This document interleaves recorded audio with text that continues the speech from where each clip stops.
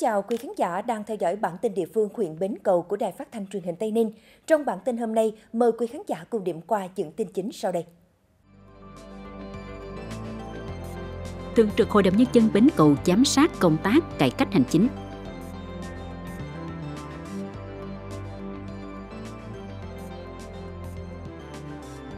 Bến Cầu công bố và trao quyết định chánh án Tòa án Nhân dân huyện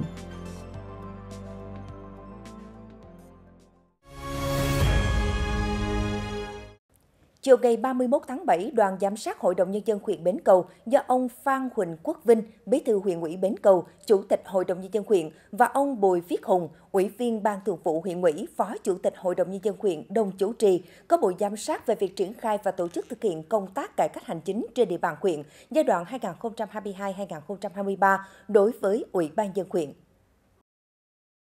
Trong 2 năm, bộ phận tiếp nhận và trả kết quả huyện tiếp nhận giải quyết 5.629 hồ sơ, trong đó có 3.055 hồ sơ tiếp nhận trực tuyến qua dịch vụ công quốc gia, chiếm 54,3%. Kết quả đã giải quyết xong trước hạn, đúng hạn 5.616 hồ sơ, đạt tỷ lệ 99,8% và trễ hạn 13 hồ sơ. Bộ phận tiếp nhận và trả kết quả cấp xã tiếp nhận giải quyết 20.602 hồ sơ, trong đó có 20.387 hồ sơ tiếp nhận trực tuyến qua dịch vụ công quốc gia, chiếm 54,3%. Kết quả đã giải quyết xong trước hạn, đúng hạn 20.580 hồ sơ, đạt tỷ lệ 99,9% và quá hạn là 22 hồ sơ. Phát biểu kết luận buổi giám sát, Ông Phan Quỳnh Quốc Dinh, Bí thư huyện ủy Bến Cầu, Chủ tịch Hội đồng Nhân dân huyện ghi nhận và biểu dương những nỗ lực các ngành cơ quan đơn vị đã quan tâm thực hiện công tác cải cách hành chính, chuyển biến rõ nét, phải tiếp tục phát huy.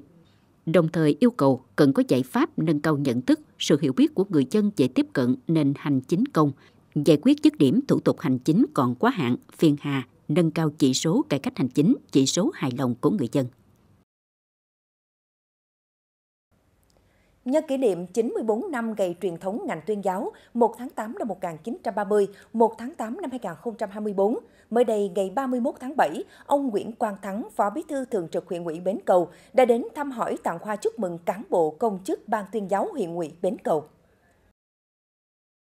Nhân kỷ niệm 94 năm ngày truyền thống ngành tuyên giáo 1 tháng 8 năm 1930, 1 tháng 8 năm 2024, Mới đây, ngày 31 tháng 7, ông Nguyễn Quang Thắng, Phó Bí thư Thường trực huyện ủy Bến Cầu đã đến thăm hỏi tặng hoa chúc mừng cán bộ công chức Ban tuyên giáo huyện ủy Bến Cầu. Ông Nguyễn Quang Thắng, Phó Bí thư Thường trực huyện ủy Bến Cầu phát biểu ghi nhận những nỗ lực của tập thể Ban tuyên giáo huyện ủy trong thời gian vừa qua, trên cơ sở bám sát các chủ trương, đường lối của Đảng và nhiệm vụ chính trị của địa phương, tập thể cán bộ công chức Ban tuyên giáo huyện ủy không ngừng đổi mới nội dung, phương thức hoạt động, chất lượng công tác tuyên giáo ngày càng đi vào chiều sâu và đạt được nhiều thành tựu quan trọng. Đặc biệt, ngành tuyên giáo đã thực hiện tốt công tác quán triệt, tuyên truyền và triển khai thực hiện có hiệu quả nghị quyết Đại hội Đảng các cấp và các kết luận chỉ thị của Đảng đối với công tác xây dựng Đảng về chính trị, tư tưởng, đạo đức, đẩy mạnh học tập và làm theo tư tưởng đạo đức phong cách Hồ Chí Minh, tiếp tục chủ động triển khai thực hiện các đề án, sơ kết tổng kết các nghị quyết, chỉ thị,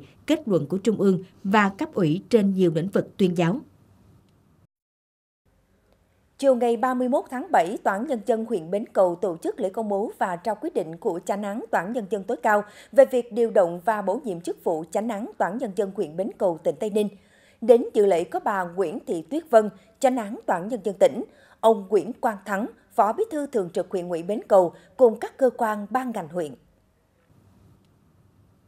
thực hiện quyết định số 1420 ngày 25 tháng 7 năm 2024 của Chánh án Tòa án Nhân dân tối cao về việc điều động và bổ nhiệm ông Phan Thanh Tùng, sinh năm 1972, thẩm phán trung cấp, chánh tòa, tòa gia đình và người chưa thành niên Tòa án Nhân dân tỉnh Tây Ninh giữ chức vụ chánh án Tòa án Nhân dân huyện Bến Cầu, tỉnh Tây Ninh. Thời hạn giữ chức vụ là 5 năm kể từ ngày 1 tháng 8 năm 2024.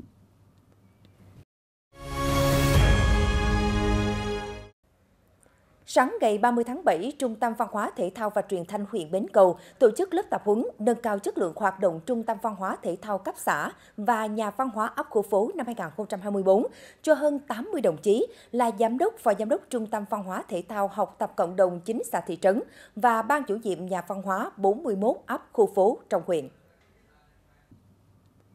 Lớp tập huấn được nghe lãnh đạo Phòng Quản lý Văn hóa và Gia đình, Phòng Thể dục Thể thao, Sở Văn hóa Thể thao và Du lịch tỉnh Tây Ninh và chuyên viên Trung tâm Văn hóa Thể thao và Truyền thanh huyện triển khai các văn bản liên quan và hướng dẫn chuyên môn trong việc nâng cao chất lượng hoạt động Trung tâm Văn hóa Thể thao cấp xã và nhà văn hóa ấp, liên ấp, công tác quản lý thể dục thể thao, nghiệp vụ tổ chức giải thi đấu thể thao cấp cơ sở, công tác quản lý tủ sách và phòng đọc phục vụ có hiệu quả cho bạn đọc cơ sở. Thực hiện công tác dân vận đợt 1 năm 2024 trên địa bàn huyện Bến Cầu sau 15 ngày từ ngày 16 tháng 7 đến ngày 30 tháng 7 năm 2024 ra quân, các lực lượng làm công tác dân vận đã thực hiện hơn 7.700 ngày công lao động với nhiều công trình phần việc ý nghĩa thiết thực. Theo đó, Trung đoàn Bộ binh 174, Đại đội Chân quân cơ động huyện, Ban chỉ huy quân sự huyện, Đại đội Bộ binh 61 huyện, Công an huyện, đồn biên phòng cửa khẩu quốc tế Mộc Bài và đồn biên phòng 847 Long Phước phối hợp liên ngành. Tổng kinh phí vận động thực hiện hơn 2,1 tỷ đồng. Tổ chức phát quang chậm giá, dọn vệ sinh các tuyến đường giao thông nông thôn với tổng chiều dài hơn 30 km, làm mới một tuyến đường dài 1,4 km, trị giá 310 triệu đồng, thực hiện hai tuyến đường thắp sáng đường quê, nạo vét kênh mương thoát nước hơn 10 km, xây dựng sửa chữa 6 căn nhà cho các đối tượng chính sách, gia đình có hoàn cảnh khó khăn với kinh phí hơn 400 triệu đồng. Tặng quà cho các gia đình chính sách, học sinh có hoàn cảnh khó khăn được 150 phần trị giá 150 triệu đồng. Dẫn động người dân hiến 1.400 mét đất làm đường giao thông trị giá 890 triệu đồng. Và những thông tin vừa rồi cũng đã khép lại bản tin huyện Bến Cầu hôm nay. Chương trình được phát sóng lúc 9 giờ 20 phút thứ tư, thứ bảy hàng tuần trên các hạ tầng của TTV11. Mến chào tạm biệt và hẹn gặp lại quý khán giả trong các bản tin tiếp theo.